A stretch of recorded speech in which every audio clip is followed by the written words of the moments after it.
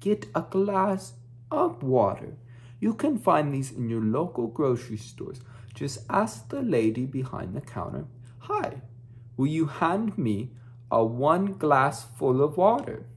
And she'll say,